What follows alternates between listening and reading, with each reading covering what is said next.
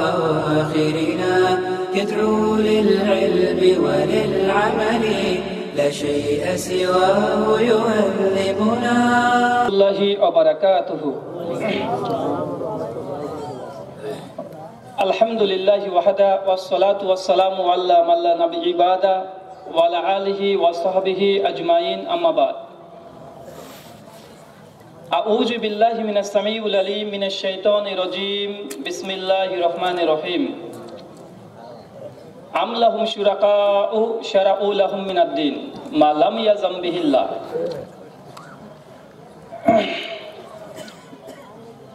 عن عبد الله بن مسعود رضي الله تعالى عنه قال قال رسول الله صلى الله عليه وسلم ليس من شيء يقربكم على الجنة وبعيدكم من النار إلا قد أمرتكم به সমস্ত প্রশংসা মহান সত্তা আল্লাহ সুবহান তাআলার জন্য যিনি আমাদের সৃষ্টি করেছেন শুধু সৃষ্টি করেননি পৃথিবীতে সহস্র কোটি মাকলুকাত সৃষ্টি করার পরেও যদিও হচ্ছে আমরা দীর্ঘদিন যাবৎ ধরে শুনে আসছি বিভিন্ন আলেম ওলেমা পীর ফকি মাসায়েক তারা বক্তৃতার পূর্বে বলে থাকে, এখন পর্যন্ত বলেই থাকে যে আল্লাহ সুবহান ওয়া তিনি নাকি আঠারো হাজার মাকলুকাত সৃষ্টি করেছেন। ভাই, আমরা তথ্য শুনে আসছি আসছি না। কথা বলতে হবে।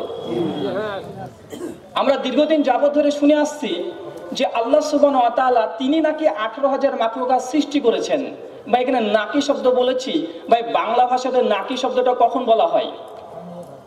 যখন কথার মধ্যে কোনো সন্দেহ থাকে সে জন্য নাকি শব্দটা ব্যবহার করা হয়। ঠিক একইভাবে আমিও নাকি শব্দ বললাম, কেন? এই কথা আমাদের সন্দেহ আছে। মহান সত্তা আল্লাহ সামাতা বলছেন, পবিত্র কোরআন নাহাল সোনা হলো আয়াত নম্বর আঠারো এবং সুরাতুল ফাতেহা, রব্বুল আলামিন। এই আয়াতের তাফসির করতে গিয়ে ইমাম ইবনু কাসির রাহিমাহুল্লাহ জন্ম হচ্ছে সাতশো এক হিজড়িতে, মৃত্যু সাতশো চুয়াত্তর হিজড়িতে। কমপক্ষে আজ থেকে সাতশো বছর পূর্বেকার তাফসির? তাফসির ইবনে কাসির। হানাফি বলেন শাফেই মালিকি, দেবন্দি, বেরলবি, জামাত ইসলামী সকলের ঐক্যমতে গ্রহণযোগ্য একটা তাফসির। কারও দ্বিমত আছে? কথা বলতে হবে ভাই। কোন মানুষের দ্বিমত নেই যে তাফসির ইবনে কাসিরটি বিশেষ করে।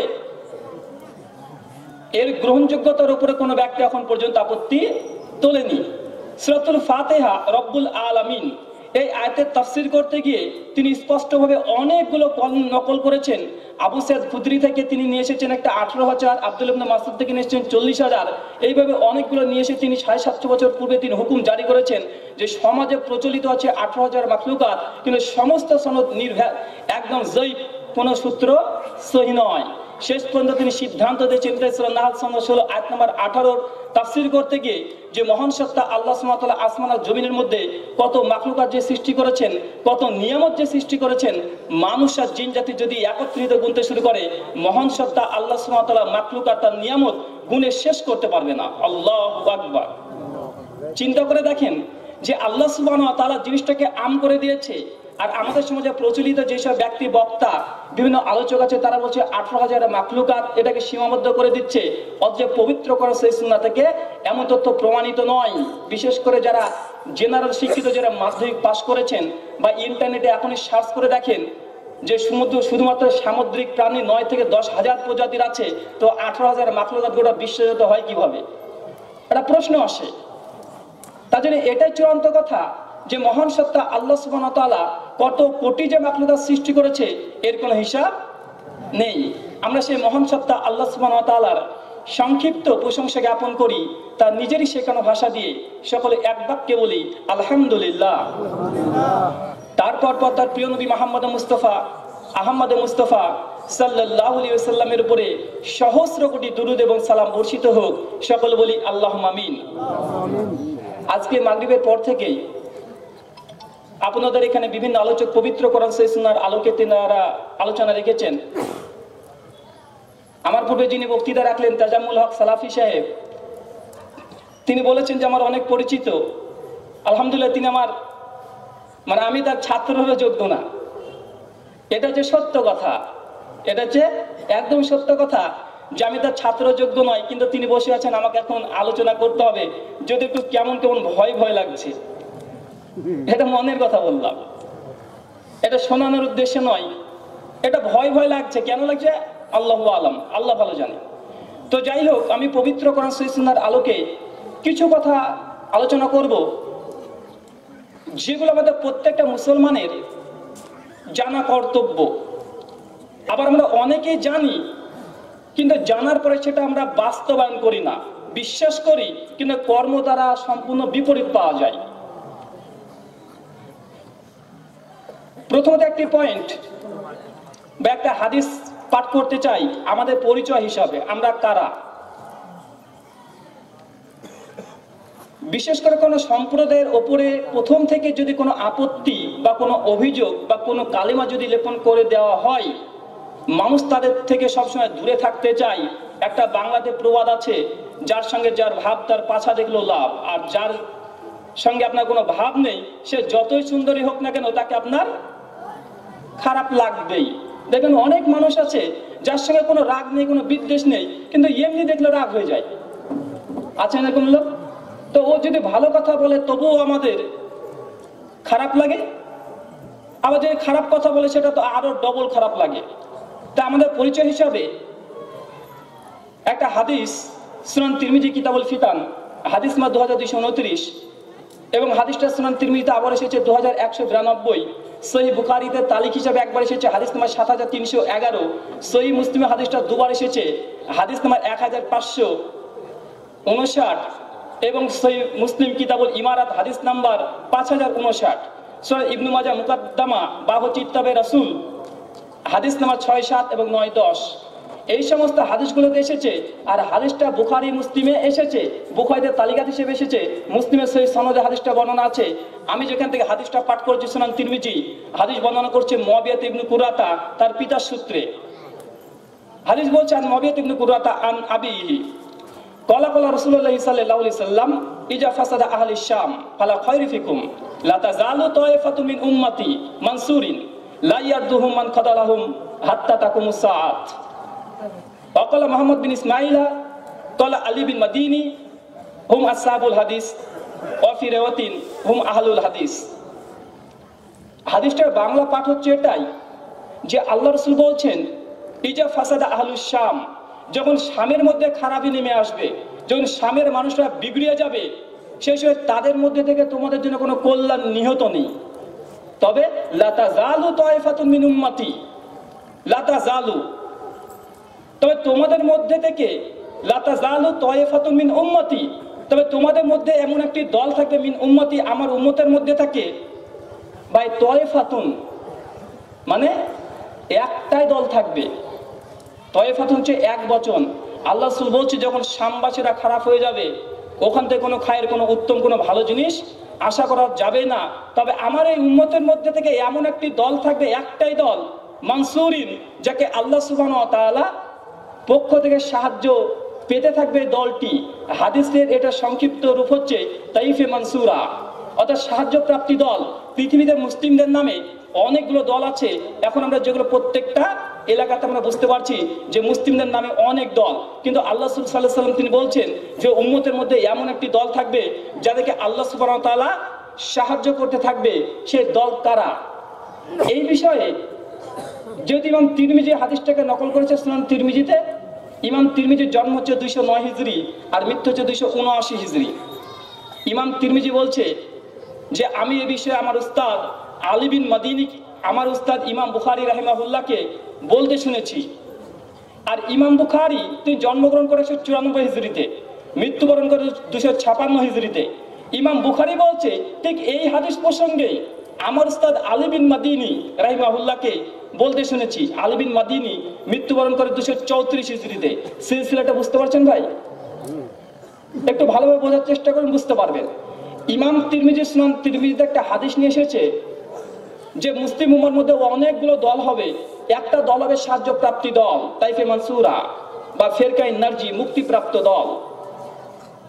তো এই বিষয়ে হাদিসটা বর্ণনা করার পরে ইমাম তিরমিজি তিনি বলছেন যে এই বিষয়ে আমি আমার উস্তাদ ইমাম বুখারিকে ইমাম তিরমিজির উস্তাদের নাম কি? ইমাম বুখারি। বলছে এই হাদিস প্রসঙ্গে আমার বুক- উস্তাদ আমার উস্তাদ ইমাম বুখারিকে আমি বলতে শুনেছি। আর ইমাম বুখারি বলছে ঠিক এই হাদিস প্রসঙ্গে আমি আমার উস্তাদ আলী বিন মাদিনীকে শুনতে শুনেছি। এই তাইফে মানসুরা কারা? বলছে হুম আসহাবুল হাদিস। তারা হচ্ছে আহলুল হাদিস। সুনান তিরমিজি হাদিস না দু হাজার একশো বিরানব্বই আলিবিন মাদিনীর যে কলটা আছে হুম আসহাবুল হাদিস। আর সুনান তিরমিজি হাদিস না দু হাজার দুশো উনত্রিশে বর্ণনা হয়েছে, হুম আহালুল হাদিস। একবার আসহাবুল হাদিস বলেছেন, একবার আহলুল হাদিস বলেছেন। মানে বোঝা গেল আসহাবুল হাদিস আর আহলুল হাদিস, আহলে ইল মুহাদ্দিস যারা আছে, তারা দুটো শব্দকে একই পরিভাষা হিসাবে ব্যবহার করেছে। দুটো জিনিস আসলে একটা জিনিসের, দুটো নাম এসেছে। এটা ভিন্ন কোনো নাম নয়। আর তাইফে মানসুরা সাহায্য প্রাপ্তি দল, সেটা আসাহাবুল হাদিস আলুল হাদিসকে বলেছে, ভাই, এটা কিন্তু ইংরেজের জামানাতে বা এখনকার মানুষের কথা নয়। সমস্ত মুসলিম উম্মার ইজমা আছে ইমাম বুখারি রহমাউল্লাহর ওপরে, যে তিনি আহলে ওয়াল জামাতের অন্তর্ভুক্ত। কোন দ্বিমত আছে কারও? জি নেই। এখান থেকে বলতে চাইলাম এটাই, যে সাহায্য প্রাপ্তি দল, সেটা হচ্ছে আসাবুল হাদিস, আর আসাবুল হাদিস বা আহলুল হাদিস দুই শ্রেণির মানুষকে বলা হয়, এক আমিল ফিল হাদিস আর আলিম ফিল হাদিস। কথা বুঝতে পারছেন কি? আসরাবুল হাদিস হওয়ার জন্য বা আহালুল হাদিস হওয়ার জন্য দুটো শর্ত।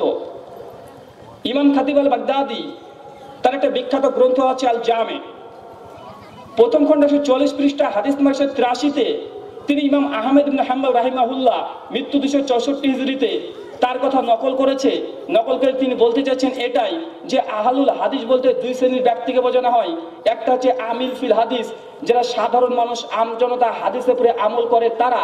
আর একটা হচ্ছে আলিম ফিল হাদিস যারা হাদিসের তাহাকিক করে, হাদিসকে মুখস্থ করে, হিফজ করে। এই দুই শ্রেণির মানুষকে বলা হয় আলুল হাদিস। এখান থেকে বোঝানোর চেষ্টা করলাম এটাই, যারা মহাদ্দেশগণ আছে, ইমাম বুখারি, ইমাম মুসলিম ইমাম আবু দাউদ, ইমাম তিরমিজি, ইমাম নাসাই, আলী বিন মাদিনী, সুফিয়ান সাউরি, ইব্রাহিম নাখই, এরা অনেকজন মহাদ্দিস যারা পূর্বে জ্ঞাত হয়েছে, তারা সকলেই আহলুল হাদিস। আর পাশাপাশি যারা হাদিসের আক্ষরিক অর্থ অনুসরণ করবে, অনুধাবন করবে, মেনে চলবে, এরা আহলুল হাদিস। এখানে কয়েকটা পয়েন্ট নোট করবেন। কারণ অনেকে ধোকা দেয় আমাদেরকে।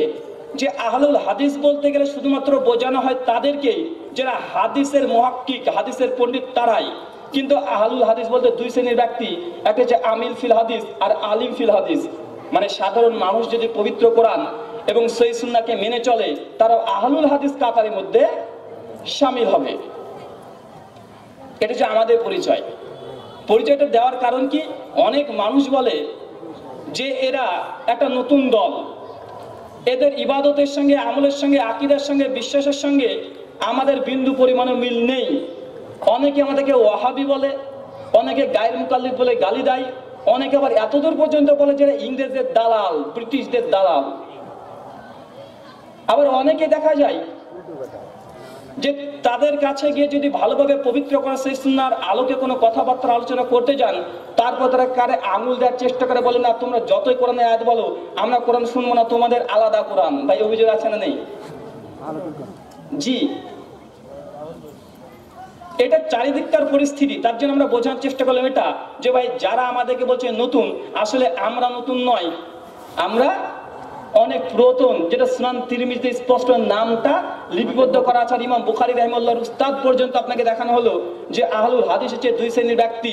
অর্থাৎ সাধারণ আমজনতা যারা পবিত্র কনসেসনাকে মেনে চলবে আর যারা মহাদ্দেশগণ যারা হাদিসের মুখস্থ করবে, তাহাকি তাকরিজ করবে, সনদ মতন নিয়ে যারা গবেষণা করে তারা আহলুল হাদিস। আমি কয়েকটা পয়েন্টে আলোচনা করব।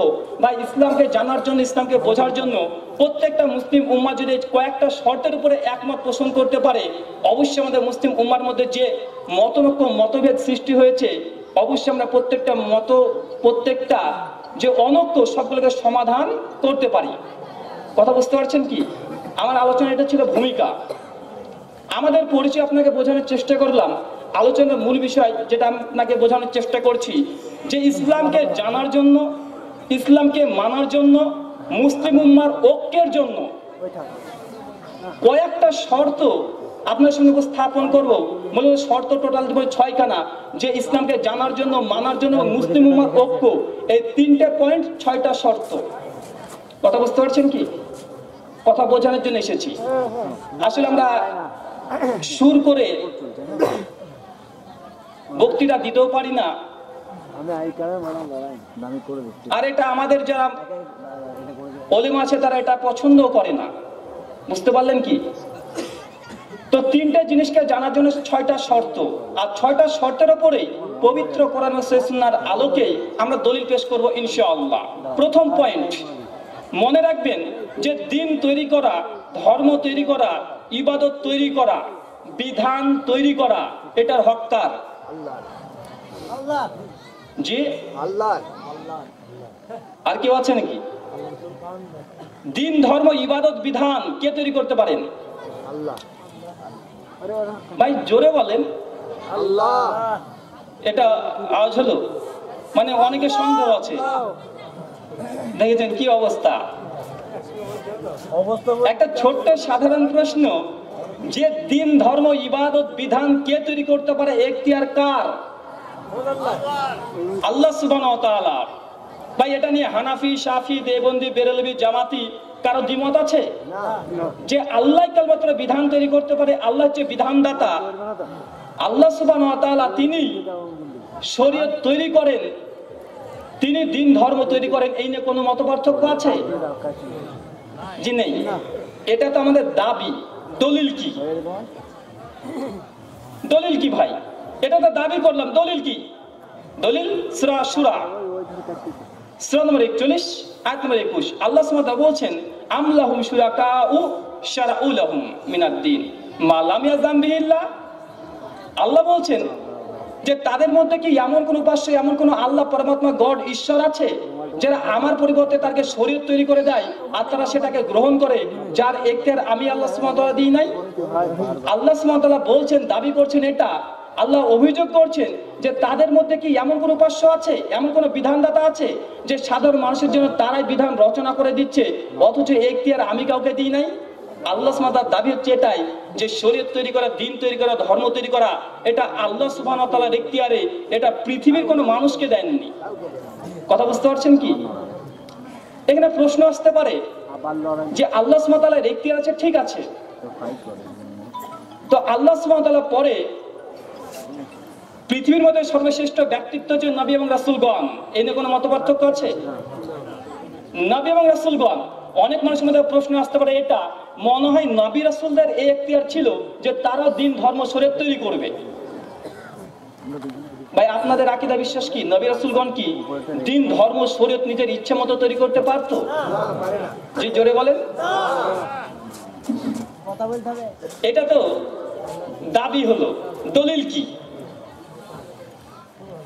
আল্লাহ সুবান তিনি দিন তৈরি করেন। দিন তৈরি করার হক এটা কেবলমাত্র আল্লাহ। দুই নম্বর পয়েন্ট যে আল্লাহ কি এই হককে পূর্ণ করেছে কি করেনি? পূর্ণ করেছেন? যদি আল্লাহ পূর্ণ করেই ফেলে তারপরে মানুষ সমাজে এত নতুন নতুন বিধান নতুন নতুন আমল নতুন নতুন ইবাদত নতুন নতুন আকিদা বিশ্বাস কীভাবে তৈরি করতে পারে? আল্লাহ বলছেন, দিন, ধর্ম বিধানদাতার মালিক হচ্ছে আল্লাহ সুবহানাহু আর আল্লাহ সেই হকটাকে আদায় করেছে সেটা মাইদা, সূরা 5 আয়াত নাম্বার তিন, আল দিন আকুম আল্লাহ বলছে, দিন ইসলামকে আমি মোকাম্মাল করেছি, পরিপূর্ণ করেছি। দিন ইসলাম মোকাম্মাল, পরিপূর্ণ। তো দিন ইসলাম যদি পরিপূর্ণ মুকাম্মাল হয়ে যায়, আর দিন তৈরি করার মালিক খোদ আল্লাহ, আর আল্লাহ বলছে সে হকটাকে আমি আদায় করে ফেলেছি। তারপরে অনেক আ- আলেম ওলেমা যারা আছে, শরীয়তের নামে অনেক কুসংস্কার, অনেক বিদাত, অনেক শিরকি আকিদা, মতবাদ, বিশ্বাস যারা স্থাপন করছে, আবার এটাকে ধর্ম মনে করছে, এদের পরিণতি কি? কথা বুঝতে পারছেন কি? দিন ইসলাম যে মুকাম্মাল, পবিত্র কোন একটা আয়াতই যথেষ্ট, সুরা মাইদা আয়াত নম্বর তিন। দুই নম্বর যে প্রশ্নটা করেছিলাম যে নবী রাসুলগণ তারা কি শরীয়ত তৈরি করতে পারে? উত্তর হচ্ছে না। কিন্তু অনেকে মনে করে যে না, নবী রাসুলদেরকে হয়তো এখতিয়ার আল্লাহ দিয়েছিলেন যে তারা নতুন করে দিন ধর্ম তৈরি করতে পারে। মনে রাখবেন, রাসূল শব্দের অর্থ কি? বার্তা বাহক বার্তার লেখক নয়। মনে রাখবেন এটা। রাসূল মানে বার্তা বাহক। আল্লাহ। তাআলা। আর রাসূল হচ্ছে আল্লাহর বার্তা বাহক কাদের কাছে? আমুন নাসের কাছে সাধারণ মানুষের কাছে। স্বয়ং রাসূলকে এখতিয়ার দেওয়া হয়নি যে তারাও নিজেদের ইচ্ছে মতো ইচ্ছে প্রসূত কোনো তারা শরীয়ত রচনা করবে মানুষের সামনে উপস্থাপন করবে এটা স্বয়ং রসুলদেরও এখতিয়ার হয়নি বা তাদেরকে দেওয়া হয়নি। একটা ছোট্ট দলিল দিই আপনারা বুঝতে পারবেন ঘটনাটি আমরা অনেকে জানি। সই বুখারি কিতাবুস সালাত হাদিস নাম্বার তিনশো উনপঞ্চাশ সুনান আবু দাউদ হাদিস নাম্বার এক হাজার তিনশো নিরানব্বই। স্পষ্ট ঘটনা অনেকে জানি যে আল্লাহ মোহাম্মদ সাল্লাহ সাল্লামকে আল্লাহ সুবান তাআলা যখন মিরাজে নিয়ে গিয়েছিল। কথা বুঝতে পারছেন কি? এখানে একটা ফল্ট আছে। আমাদের সমাজের মানুষ তারা কি বলে জানেন? যে আল্লাহ মিরাজে গিয়েছিল। যে কথা সঠিক নয়। আল্লাহ রসুল মিরাজে যাননি। আল্লাহ সুবাহ তাআলা আল্লাহ রসুলকে নিয়ে গিয়েছিল, এটা আল্লাহর ইচ্ছা ছিল। আমি গিয়েছিলাম মানে আমার ইচ্ছাতে গেলাম, কিন্তু এটা রসুলের ইচ্ছাতে নবীজির সঙ্গে সঙ্গে চলে যাননি। আল্লাহ সুবাহ তালা চেয়েছিলেন, আল্লাহ রসুলকে সঙ্গে সঙ্গে মিরাজে নিয়ে গিয়েছিলেন। মিরাজে যাওয়ার পরে অনেক ঘটনা ছোটবেলা থেকে আমি আপনি সকলেই জানি। জিব্রাইলের নেতৃত্বে যখন জান্নাত জাহান্নাম সমস্ত কিছু পরিদর্শন করে আসছে এই মতো পরিস্থিতিতে আসার সময় একজন নবীর সঙ্গে দেখা হয়েছিল। সে নবীর নাম কি? হজরত মুসা আলাহ ইনি এমনই একজন নবী, যার উপরে তওরাত অবতীর্ণ করা হয়েছিল। বুঝতে পারছেন কি? মুসা আলাহ সাল্লামের সঙ্গে যখন দেখা হয়ে যায়, সঙ্গে সঙ্গে সামনাসামনি আল্লাহ রসুল্লাহ মুসা আলাহ সাল্লাম মুসা আলাহ সাল্লাম আল্লাহ রসুলকে বলছে, আল্লাহ সুবাহ তাআলা আপনার উম্মতের জন্য কি দিয়েছে? কি তোফা দিয়েছে? আল্লাহ রসুল সঙ্গে সঙ্গে কি বলেছিলেন? জি? পঞ্চাশ ওয়াক্ত নামাজ। কত ওয়াক্ত? পঞ্চাশ ওয়াক্ত। আর মুসা আলাইহিস সালাম জবাবে কি বলেছিলেন? ফায়ুর যে, আপনি ফিরে যান ইলা রব্বিক, আপনার প্রভুর কাছে। এই কথাটাকে লক্ষ্য করবেন, এই কথাটা বলার জন্য ঘটনাটা উপস্থাপন করলাম। এই কথাটা মুসা আলাহিসাম হচ্ছে এত বড় নবী। আর এটা ঘটনা কিন্তু জমিনের নয়, আসমানের। আসমানের পরে যখন দুই নবীর কথোপকথন হচ্ছে, মুসা আলাহিসাম প্রশ্ন করছে, আল্লাহ রসুলকে আল্লাহ সুবান আপনার উম্মতের জন্য কি বিধান দিয়েছে? আল্লাহ রসুলের সঙ্গে সঙ্গে তিনি বলছেন যে, পঞ্চাশ ওয়াক সলাদ ফরজ করেছে। মুসার সঙ্গে চট করে বলছে, এটা সম্ভব নয়। যে আপনার উম্মত পঞ্চাশ ওয়াক্ত সালাত আদায় করবে, আপনি তাড়াতাড়ি ফিরে যান আল্লাহর কাছে। ভাই, বলেন তো মুসা সালাম এত বড় নবী। আল্লাহ মোহাম্মদ সাল্লাহ সাল্লাম গোটা বিশ্বের জন্য নবী হিসেবে এসেছেন। এই দুজন নবী, তারা জানছে পঞ্চাশ ওয়াক্ত নামাজ উম্মত পড়তে পারবে না। তারপরেও কেন তারা আসমানের দুজন নবী পরামর্শ করল না যে ঠিক আছে পঞ্চাশ ওয়াক্ত পারবে না, চলো আমরা পাঁচ নির্ধারণ করে পৃথিবীতে ফরজ করে দিই। পারতো? তার মানে বোঝা গেল মুসা ইসলাম বলছে যান রবের কাছে যান কারণ ইবাদত হচ্ছে রবের হবে। কীভাবে ইবাদত করবেন? কত ওয়াক্ত করবেন? আপনার সভাপতি আপনি বলবেন। বলছি যে সাড়ে দশটায় শেষ করার কথা ছিল। তাদের দশ মিনিট লাগে দেখা যাবে। কোনো সমস্যা না। তুমি চালাও জানো সাড়ে দশটার মধ্যে তোমার বক্তব্য সেভাবে গুছিয়ে ঠিক আছে বলছে কি হবে না কি হবে না? একটু হবে বলেছে তোমাকে তাহলে কতটা বক্তৃতা আচ্ছা, টানা সাড়ে দশটা পর্যন্ত বক্তব্য রাখো সাড়ে দশটা থেকে নিয়ে পনেরো মিনিটের হবে আনহেতে কাজ করো তুমি দশটা কুড়ি পর্যন্ত বক্তব্য রাখো তাহলে আবার রাত এগারোটা বেজে যাবে সাড়ে দশটার দিকে যদি টোটাল হয়ে যায় তাহলে একটা করে ভালো। দশটা দশে আমি শেষ করে দিই দশটার মধ্যে তোমার বক্তব্য যে গুছাতে পারলে ঠিক আছে আমি খেয়ে। ঠিক চলো আমি আসি। যে কথা বলছিলাম, যে আল্লাহ সুবহান তিনি বিধান তৈরি করতে পারেন। এই এখতিয়ার নবী রাসূলকে দেয়নি, তার প্রমাণ কি পেশ করেছি ভাই? সেই বুখারীর তিনশো উনপঞ্চাশ নম্বর হাদিস, আসমানে যখন কথোপকথন হচ্ছে দুই নবীর সঙ্গে, তারা যদি ইচ্ছে করত, আর মুসা সালাম তিনি বলছেন যে, আমি জানি আমার আপনার উম্মত পঞ্চাশ ওয়াক্ত পারবে না। এখান থেকে আরেকটা দলিল খণ্ডন হয়ে যায়। যারা বলে নবীজি ইলমে গায়েব ছিল, এটা খণ্ডন হয়ে যায় কিনা আল্লাহ রসুলের উপরে পঞ্চাশ নামাজ ফরজ হয়ে গেছে। কিন্তু তিনি সঙ্গে সঙ্গে পৃথিবীতে চলে আসছেন মুসা সালাম বলছে, আপনার উম্মত পারবে না। ভাই, মুসা সালাম বলতে পারলেন কেন যে আপনার উম্মত পারবে না? কারণ কি? আল্লাহ রসুল তিনি চলে আসতেন খুশি মনে। আর মুসা সালাম বলছেন যে, না, আপনার উম্মত পঞ্চাশ সালাত আদায় করতে পারবে না। তো আল্লাহ রসুল জানলেন না, মুসা জানলেন কীভাবে? প্রশ্ন আসে কি আসে না? কারণ হচ্ছে এটাই, সূক্ষ্মতা আছে এই হাদিসের মধ্যে। এই হাদিস থেকে অনেকগুলো দলিল বের করা সম্ভব। দ্বিতীয় নম্বর দলিল হাদিস থেকে যে আল্লাহ রসুল গায়েব জানতেন না, যদি জানতেন, তিনি পঞ্চাশ হক নিয়ে আসতেন না, আল্লাহকে প্রথমে বলতেন যে, আল্লাহ, না, সম্ভব না, আপনি কমিয়ে দিন, আমার উম্মত পারবে না। কিন্তু মুসা সাল্লাম পথে এসে বললেন, না, আপনার উম্মত পারবে না। মুসা জানলেন কীভাবে? কারণ হচ্ছে এটা যে আল্লাহ পূর্বেই মুসা আলাহ পৃথিবীতে এসেছে, মানুষের সঙ্গে উঠা বসা, চলাফেরা করেছে, তিনি আগে থেকে অভিজ্ঞতা তার আছে যে মানুষগুলো যারা আছে তারা আসলে মানুষ নয়। এরা চতুষ্প জন্তু জানোয়ারের চাইতেও খারাপ। যেন আল্লাহ বলছেন সেটা আরাফ আয়াত নম্বর একশো উনআশিতে, ঠিক এই জন্যই তার অভিজ্ঞতা, পৃথিবীর অভিজ্ঞতা তিনি আসমানে কাজে লাগিয়েছেন যে না, পাঁচ ওয়াক্ত নামাজ মানে পঞ্চাশ ওয়াক্ত নামাজ দ্বারা আদায় করতে পারবে না, পাঁচ ওয়াক্ত বারবার আল্লাহ কাছে পরামর্শ করে, দোয়া প্রার্থনা করে, তারপরে তাকে পাঁচ ওয়াক্ত দেওয়া হয়েছে। দলীয় তিনটে বের করেছে। এক, যে মুসা ইসলামের অভিজ্ঞতার দরুনেই তিনি বলতে পেরেছেন তিনিও আলিমুল গায়েব ছিলেন না। আর আল্লাহ রসুল নিজে আলিমুল গায়েব ছিলেন না, কারণ আল্লাহ পঞ্চশক দিয়েছে, তিনি চলে এসেছিলেন। আর তিন নম্বর, যে মুসা ইসলাম আল্লাহ রসুল দুজন পরামর্শ করেই দিন, ধর্ম, বিধানকে কমাতে পারতেন, কিন্তু এখতিয়ার তাকে দেওয়া হয়নি। এই জন্যই কেন? এই জন্য আল্লাহ সোনার কাছে গিয়ে কমাতে হয়েছে। দ্বিতীয় নম্বর পয়েন্ট হচ্ছে এটাই যে দিন তৈরি করা একটা আল্লাহরই হক। কোন নবী রসুলকে তিনি দেননি, এখতিয়ার।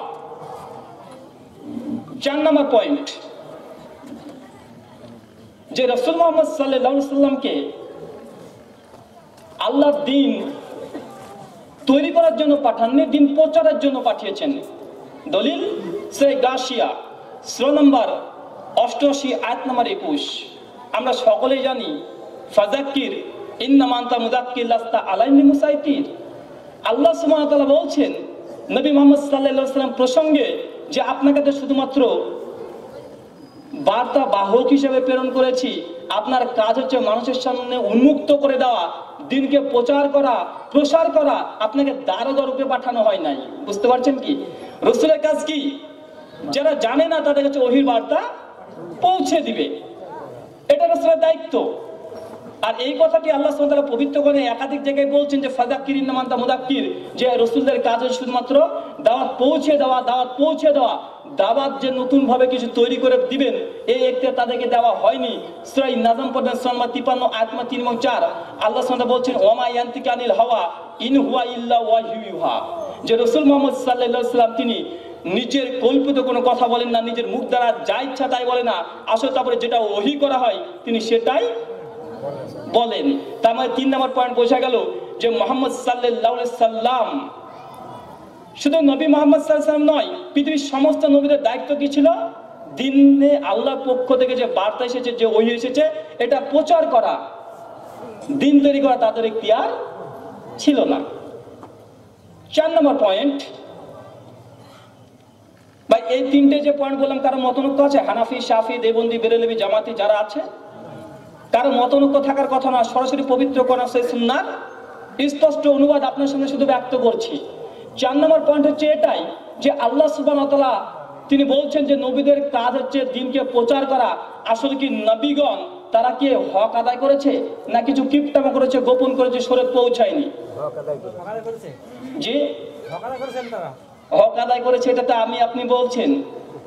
একটা ফিরকা আছে আহলে তাসাইয়ু আমরা যাদের চিনি জানি, শিয়া নামে। কি নামে? শিয়া। তাদের দাবি হচ্ছে যে আসলে কোরআন অবতীর্ণ হয়েছিল নব্বই পারা। তিরিশ পারা হচ্ছে জাহেরি আর ষাট পারা হচ্ছে বাতেনি। আমাদের সমাজে দেখবেন যারা পীর তরিকার মধ্যে একদম মিলেমিশে আছে, তার অধিকাংশ তারা বলে হচ্ছে তিরিশ পারা কোরআন নয়, কোরআন হচ্ছে নব্বই পারা। তিরিশ পারা হচ্ছে জাহেরি যেটা হুজুরদের কাছে থাকে মৌলবি সাহেবদের কাছে থাকে, আর যারা ন্যাংটা হয়ে গাঁজা খায়, মদ খায়, ঘরের মধ্যে বসে বসে জিকির আজগার করে ন্যাংটা হয়ে, তারা বলে, আমরা হচ্ছে কি ষাট পাড়ার মালিক? কথা বুঝতে পারছেন কীরকম ফিরকা আছে না নেই? আপনি একটু আগে বললেন যে যে নবী মোহাম্মদ সাল্লাম তিনি দিন ধর্ম সম্পূর্ণ পৌঁছে দিয়েছেন, কোনো কিপটাম করেনি? কিন্তু তারা বলছে যে, মোহাম্মদ সাল্লাম তিরিশ পারা আমাদেরকে দিয়েছেন আর ষাট পারাটা বাতে নিয়ে আছে। তার যে দেখবেন বলে যে চারটে সিলসিলা কি কি বলে? শরীয়ত, মারিফত, তরিকত আর হাকিকত। বলছে মৌলবী সাহেব যারা আছে, তারা শরীয়ত নিয়ে ব্যস্ত। আর আমরা মারিফত নিয়ে নিয়ে ব্যস্ত। মারিফত মানে গোপন জ্ঞান। মারিফত নয় আসলে মার খাওয়ার পথ। বুঝতে পারছেন কি? মানে তারা যদি কিছু কিছু করে, যদি বলে, এটা তো অন্য একটা পাপ, এটা হারাম? সঙ্গে বাবা, এটা তুমি শরীয়তের চোখ দিয়ে দেখছ। আচ্ছা এটা হারাম না, এটা মারিফত দিয়ে দেখো। এটাই ঠিক। মানে এটা মারিফত মানে মার খাওয়ার পথে দেব তিরিশ পারা কোরআন আল্লাহ সুবান অবতীর্ণ করেছেন। মোহাম্মদ সাল্লাহামকে যে দাবি করেন ষাট পারা আরও গোপনে আছে, তার মানে জানতে হবে নবী মোহাম্মদ সাল্লাহাম দিন ধর্মকে প্রচার করে নি আল্লাহ সুবান যে দায়িত্ব তাকে দিয়েছিলেন, সে দায়িত্ব পালন করেনি। আল্লাহ দায়িত্বহীনতার একটা লেবাস পাওয়ানোর চেষ্টা করছে সে ব্যক্তিগণ, সাবধান এবং সতর্ক থাকতে হবে। ভাই, আমরা দাবি করলাম যে আল্লাহ মোহাম্মদ সাল্লাহ সাল্লাম তিনি দিন ধর্ম সম্পূর্ণ প্রচার করেছেন। কিছু গোপন রাখেন এটা তো দাবি। প্রমাণ কি? কয়েকটা প্রমাণ দিই। সেই বুখারি, কিতাবুত তাফসির, হাদিস নম্বর চার হাজার আটশো পঞ্চান্ন। হাদিস নম্বর চার হাজার আটশো পঞ্চান্ন। সেই বুখারিতে কিতাবুত তাফসির দেখবেন, সূরা মাইদা সোনা পাঁচ, আয়াত নম্বর সাতষট্টি। যেখানে বলা হয়েছে ইয়া আইয়ুহা রাসূল, হে রাসূল মুহাম্মদ আলাইহি সাল্লাম বাল্লিগ আপনি পৌঁছে দিন। মা উনজিলা ইলাইকা মির রব্বি, আপনার প্রভুর পক্ষ থেকে যা কিছু অবতীর্ণ হয়েছে, সেগুলো পৌঁছে দিন। মানে বোঝাই যাচ্ছে আবারও যে ওহি প্রেরণ করছেন কি আল্লাহ, নবীর দায়িত্ব কি ছিল? প্রচার করা। ফাইল্লাম তাফাল, যদি আপনি এমনটি না করেন, ফামা বাল্লাগতা রিসালাতা। তবে আপনি রিসালাতের দায়িত্ব পালন করলেন না। আল্লাহ সুবহানাহু পবিত্র কোণে আগে থেকে নবী মোহাম্মদ আলাইহি সতর্ক করে দিয়েছেন। যে আপনার উপরে যে বিধিবিধান আরোপ করা হচ্ছে, যে দায়িত্ব দেওয়া হচ্ছে, আপনি জনসম্মুখে উন্মুক্ত করে দিন, প্রচার করে দিন। আর যদি আপনি প্রচার না করেন, অবশ্যই আপনি রিসালাতের খেয়ানত করলেন, আপনি রিসালাত পৌঁছালেন না, কিয়ামতের মাঠে আপনাকে জিজ্ঞাসিত হতে হবে, এই আয়াতকে সামনে রেখে আল্লাহ মুহাম্মদ সাল্লাল্লাহু আলাইহি সাল্লাম সহিহ বুখারী কিতাবুত তাফসীর, হাদিস নম্বর 4855 আমরা সকলে জানি বিদায় হজের সময়তে আল্লাহ মুহাম্মদ সাল্লাল্লাহু সাল্লাম সহিহ বুখারী বর্ণনা 1 লক্ষ 40 হাজার সাহাবা রাদিয়াল্লাহু তাআলাকে সামনে রেখে আল্লাহ রাসূল বলছেন কিয়ামতের মাঠে আল্লাহ ওয়া আমাকে জিজ্ঞাসা করবে যে আমি কি আমার দায়িত্ব পৌঁছে দিয়েছি? আল্লাহাল বাল্লাগতু? আমি কি ধর্ম প্রচার করে দিয়েছি? আল্লাহ যে আমাকে দায়িত্ব দিয়েছিল যে ওহি অবতীর্ণ করেছিল সে দায়িত্বকে আমি সম্পূর্ণ করেছি? ভাই কাদেরকে বলছে? সাহাবা রদিয়াল্লাহ তাআলা আনহুমদেরকে। এক লক্ষ চল্লিশ হাজার সাহাবা আল্লাহ তালা আনহুম